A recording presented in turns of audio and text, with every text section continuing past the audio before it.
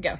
Here we have our coffee. This is one of our best sellers. Yep. And it's not just any coffee. So first off, it's organic coffee. You want to make sure that you are drinking organic coffee when you do consume it because coffee, the coffee bean itself is a very dirty um, bean in a sense. It, it absorbs a lot. So it, uh, it also grows mold very well. Yeah, yeah. And it's very heavily treated with herbicides, pesticides, fungicides. Sure. That's why you really want to make sure it's organic because you want to avoid all that stuff.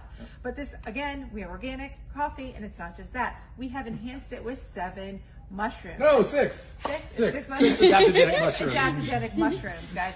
And I'm sure um, if you've not heard, but mushrooms are very important for our, our health. Yep. Adaptogenic, great for our brain, great for our stress response. Um, Yep. What else?